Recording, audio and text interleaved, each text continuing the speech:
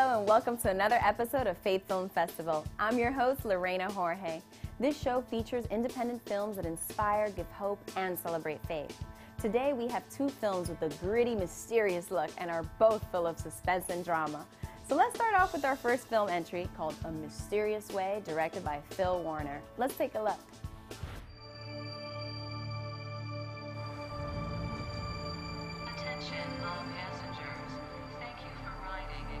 Railway.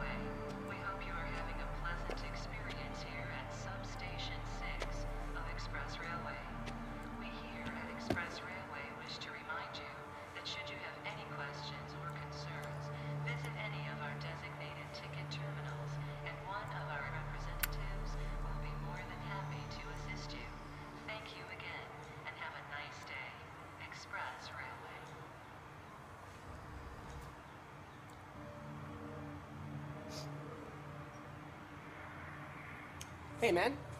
What? Is this the L train? The L train? Mhm. No, I don't believe so. It's not. No, this is the, uh, I believe, uh, yes, the R train. The R train. Yeah. Where does the R train go? Where does it go? Yeah, man. The destination. Oh, Atlantic City. Atlantic City. Yeah. But the L train goes to Atlantic City. It does? Yeah, I'm, I'm, I'm sure of it. I mean, the ticket lady said that the L train goes to Atlantic City. Well, so does the R. Why are you going to Atlantic City? You, uh, you gonna do some gambling? I mean, you don't look like much of a gambler. No, I'm uh, going to visit my mother, actually. Oh, moms are great, aren't they? Yeah. There's nothing like a mom. No? Of course, I'm a gambler. Oh? Oh, yeah, truth be told, I'm almost a compulsive one. but hey, who isn't when they go to Atlantic City? I mean, that's the reason most people go to Atlantic City is to gamble, but not you, though. No. You're gonna go see mom, huh? Yeah. Neat. So, uh, what are you reading there, buddy? Oh? Yeah. The Bible.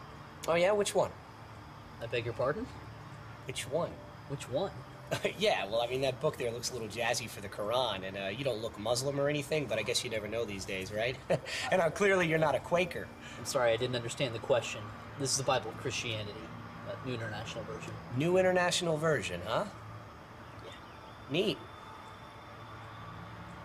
So, what's your favorite story in there? Story? Yeah, man, what parts really do it for you? Do it for me. yeah, man, come on, what's your favorite part?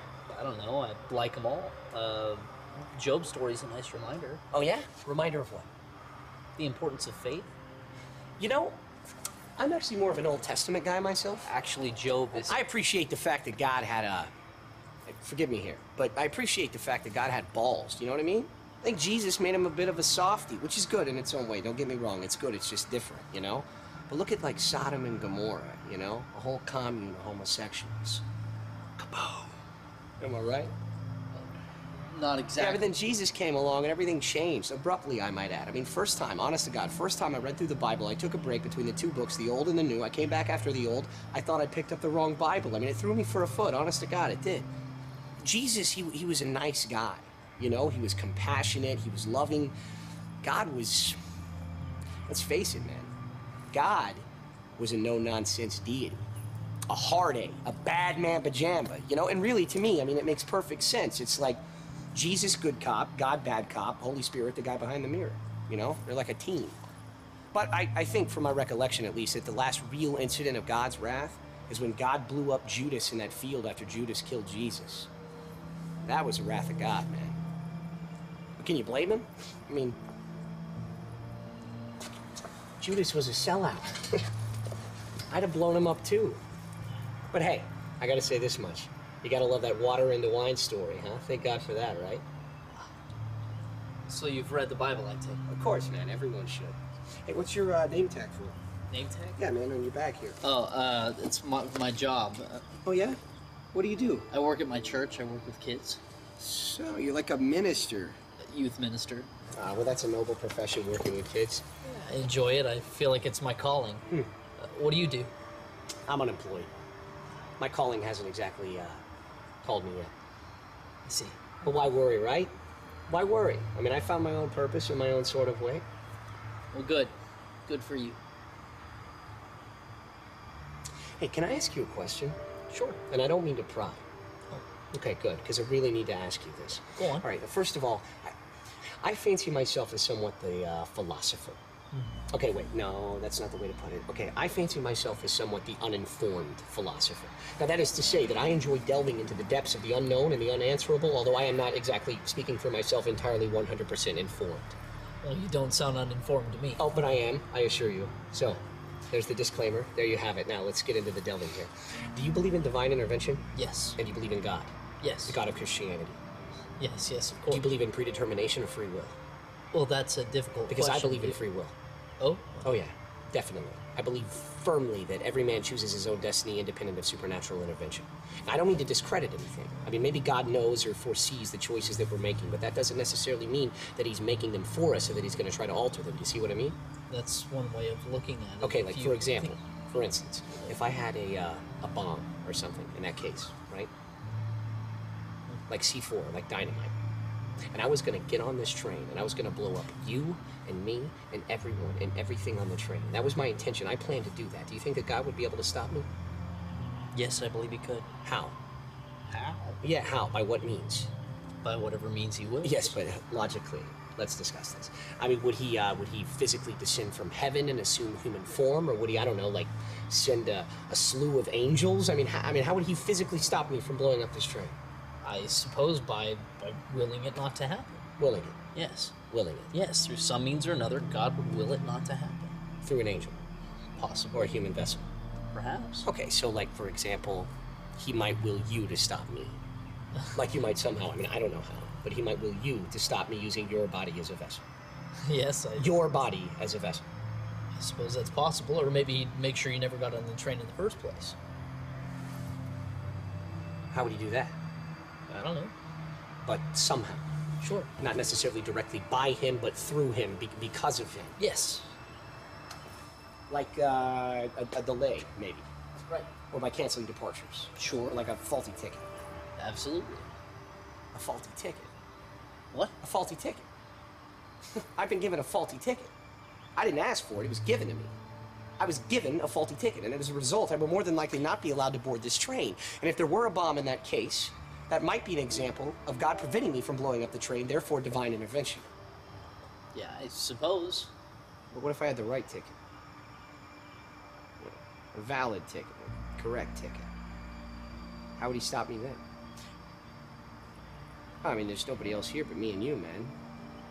And if he was gonna stop me using a human vessel, logic would dictate that, uh, it would have to be you that would have to stop me. I wonder, What? would you be able to? If God willed it, then yes, I believe I could.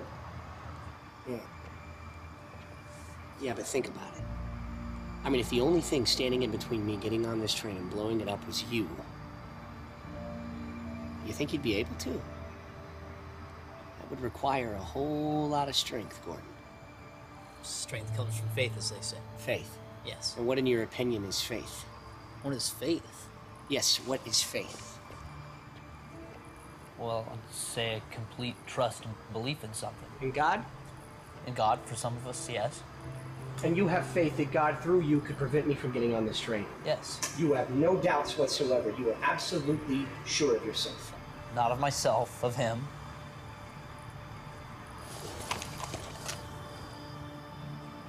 What about now, Gordon? Now, if I were to pull this trigger, you have faith, Gordon. You have faith, yes or no, that God would stop the bullet. What are you doing? If I pull this trigger, how is God going to prevent this bullet from emptying your skull? Oh, God. Answer the question, Gordon. I don't know. Give me an answer, yes or no. Can God stop bullets? Oh my God! Don't you dare start crying. Don't you dare start crying. Don't you dare start crying. Do you understand me? Oh God, you be a man, Gordon. You be a man. You don't have anything to fear. Remember, you were positive, Gordon. Certain, not of yourself, Gordon, of him. Where is your faith, Gordon? Oh Where is your faith? Show it to me, Gordon. Please don't do this. Exemplify your faith. I'll give you whatever you want, whatever you want, please. Just don't do this. You're acting like a woman, Gordon. For the love of God, you be a man. You be a man, you understand me? You conjure up whatever faith you have in that bleeding heart of yours, and you be a man. Look at you.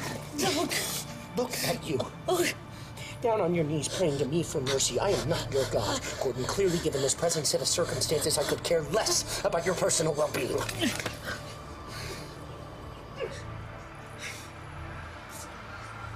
Gordon, you know, it's It's a sad thing, a guy like you believing what you believe. It's all smoke and mirrors, Gordon.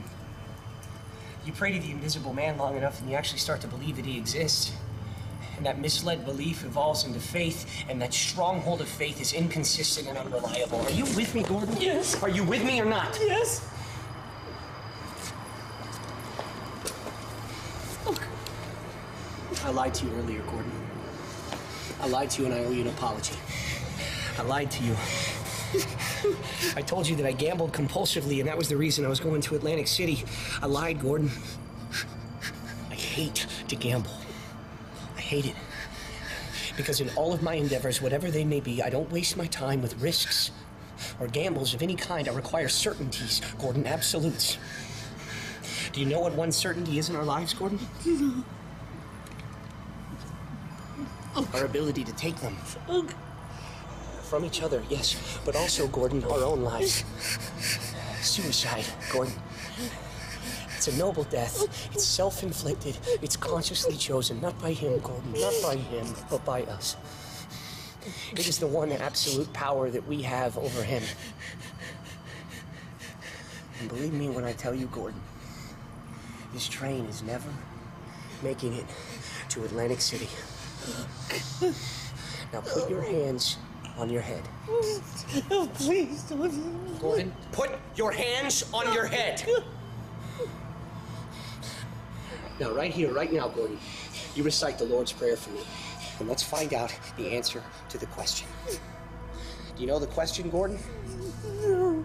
Do you know the question, Gordon? No. Does God exist? Now pray. Pray. God, Father, who art in heaven, hallowed be thy name. Thy kingdom come, thy will be done on earth as it is in heaven. Give us this daily. comes the countdown, Forgive us our Gordon. trespasses, we forgive John's trespasses. Count of three, Gordon. Lead us not into temptation, but deliver us from evil.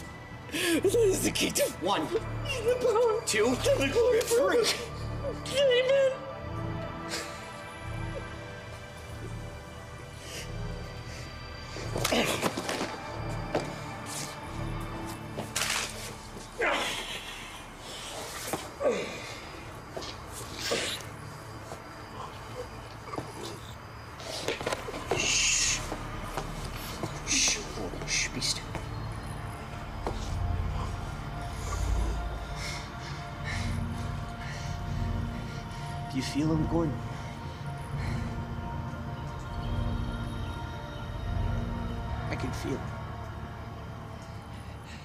Feel him like he's right here, right now. With you and me. All around. All around me, you know, but nowhere. I'm trying so hard to see him, Gordon. I'm trying so hard. But nothing. Why can't I see him, Gordon? Why can't I see him?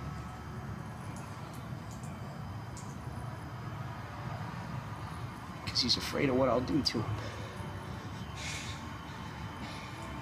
And he should be. He should be.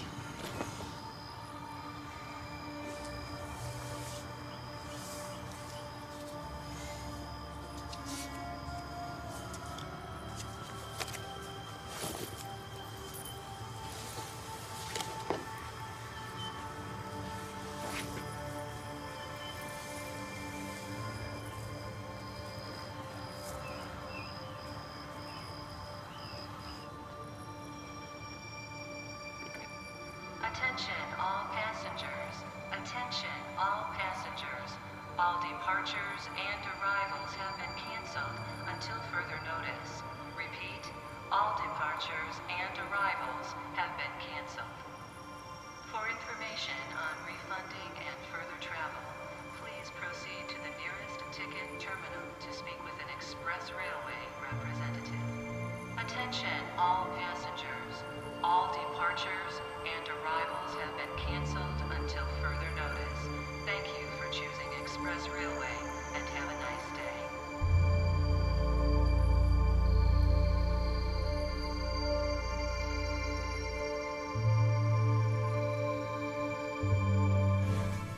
That was a classic duel between good and evil, and I like that twist at the end.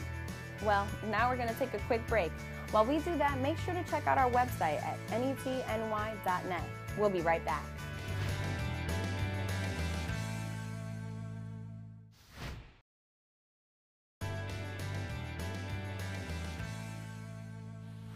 Welcome back to Faith Film Festival. I'm Lorena Jorge, and I'm here to bring you inspirational indie films. Now we're going to move on to our next film, directed by Luis C. Alvarez, called 5000. This film follows a kidnapped journalist in Colombia. Let's watch.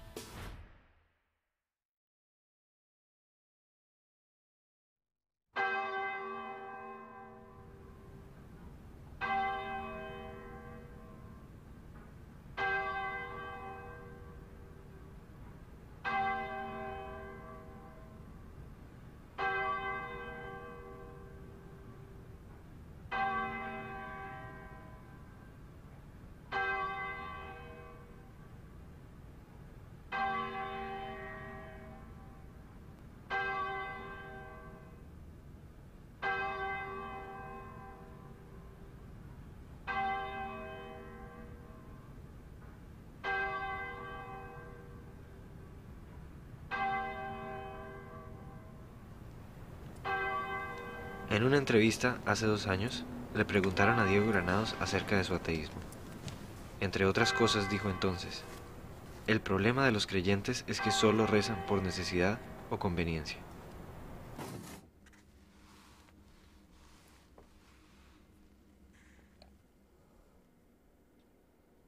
¿Cuándo fue la última vez que se confesó?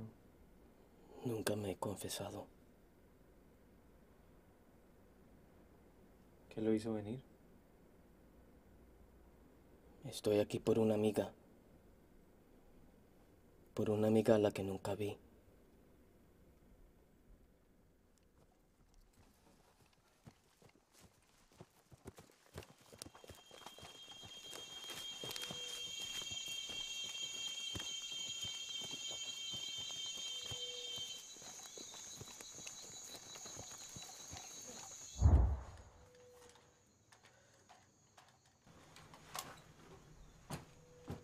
¿Por qué llegaron tarde? No quería caminar.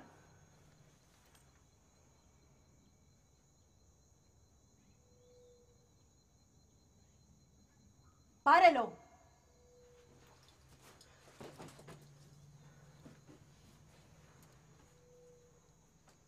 Diego Granados. A partir de hoy usted es un prisionero de guerra de las FARC. Acaba de pasar unos cuantos meses. Todo depende de cómo se porte su familia y sus amiguitos del periódico. La orden es no se habla con ninguno de nosotros, a menos de que se le hable primero. Así que vayas acostumbrando al silencio. Si necesita cagar o mear, ahí tiene suficiente espacio. Para eso le dimos tierrita de más. ¿Y no me van a quitar las esposas? Que se calle la jeta. ¿O es que no entiende español? No. Es mejor que deje las manitas quietas. Y así no escribe más mierda de la que ha escrito.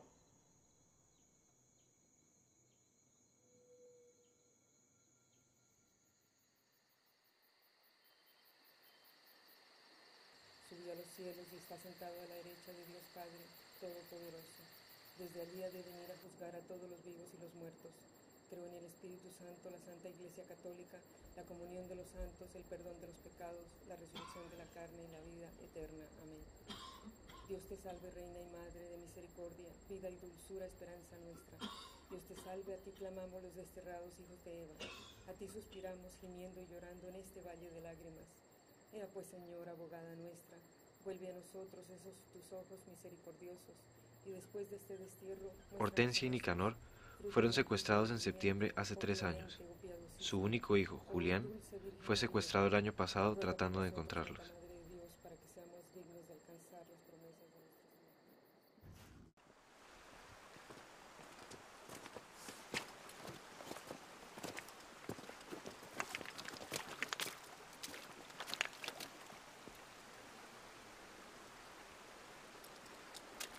En los últimos 15 años, las FARC se ha convertido en la única alternativa de supervivencia para muchos jóvenes campesinos.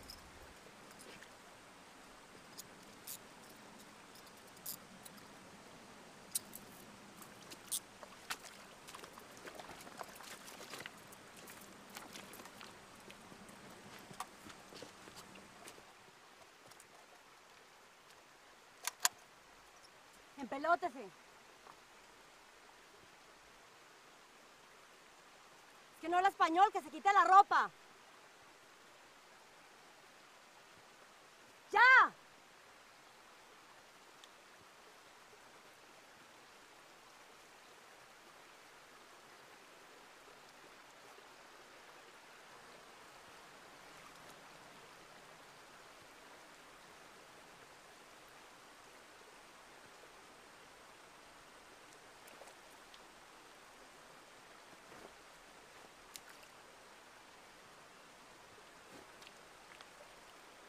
Dese la vuelta. Báñese.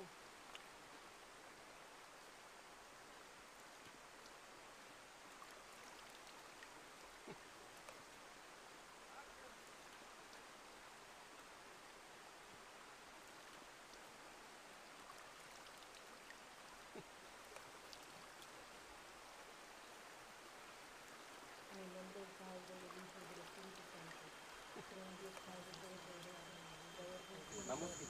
salve, oh María, Ea pues, Señor, abogada nuestra, pues ven a todos este valle de las ojos misericordiosos. Ea pues, Señor, abogada y después de este clemente, oh piadosísima, fruto bendito de tu vientre, oh clemente, ruega por nosotros, Santa Madre de Dios, para que seamos dignos de alcanzar. Padre Santo, yo te ofrezco este rosario por la salud de Nicanor.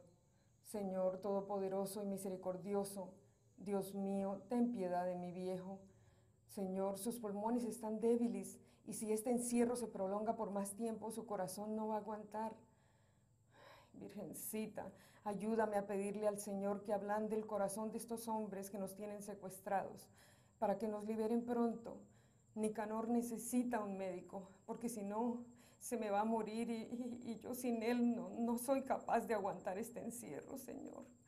También te pido por el hombre que está aquí al lado, secuestrado igual que nosotros. No lo dejes caer en la desesperanza. Presérvale su salud y, y permítele recobrar pronto su libertad, para que pueda volver a reunirse con sus seres queridos. ¿Por qué? ¿Por qué? ¿Por qué se lo llevaste, señor? ¡Cállese! Sin él no puedo. ¡Ya no cállese, puedo. cállese! ¡Sáquelo que está muerto! ¡Sáquelo que está muerto! ¡Quieta!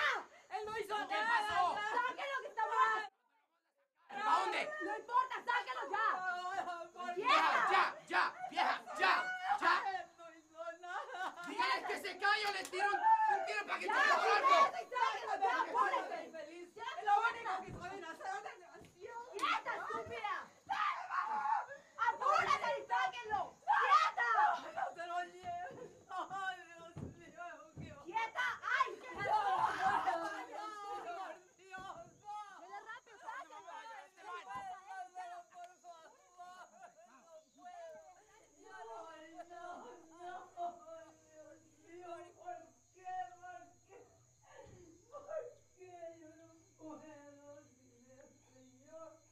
Padre nuestro que estás en los cielos, santificado sea tu nombre. Venga a nosotros tu reino y hágase tu voluntad en la tierra como en el cielo. Danos el pan de cada día y, perdona nuestras ofensas, así como nosotros debemos perdonar a los que nos ofenden. Santa María, Madre de Dios, ruega por nosotros los pecadores ahora y en la hora de nuestra muerte. Bendita tú eres entre to- todas las mujeres y bendito es el fruto de tu vientre Jesús. Creo en Padre Dios Todopoderoso, Creador del cielo y de la tierra, como en un principio, ahora y siempre, por los siglos de los siglos. Amén. Amén.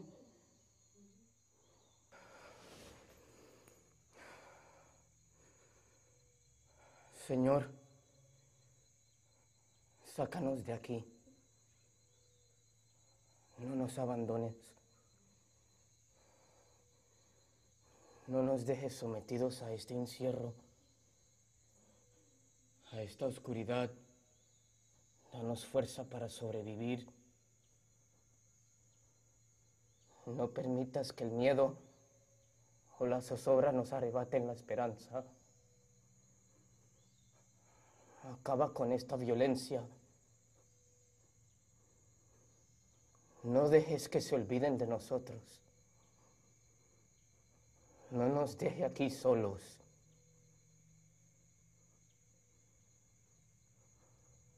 Sálvanos de estos niños jugando a la guerra.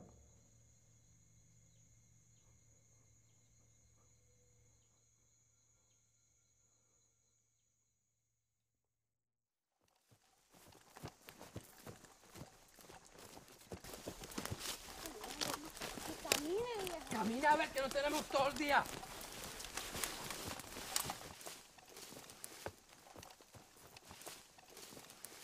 Camina a ver que estamos hoches. Espere. Si los coge el ejército, lo quebramos.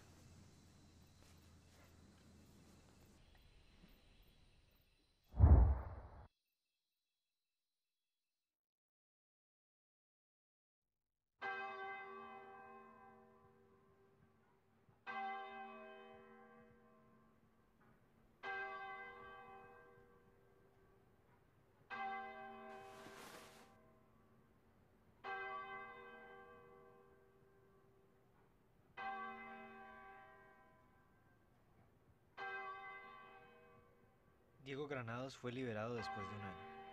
Aún trabaja como periodista. Hortensia continúa secuestrada.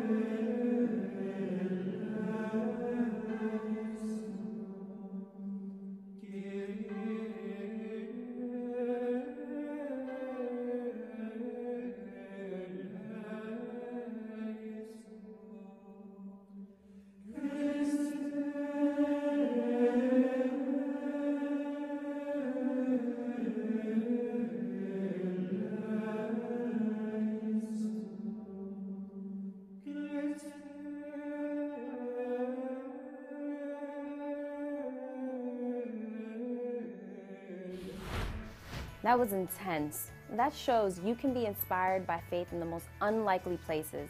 If you want to learn more about today's films, make sure to check out our website at netny.net, where you can cast your vote for your favorite films. Remember, the first Faith Film screening event is right around the corner, where we will be showing the top six films from this season at a theater in New York, and you won't want to miss it.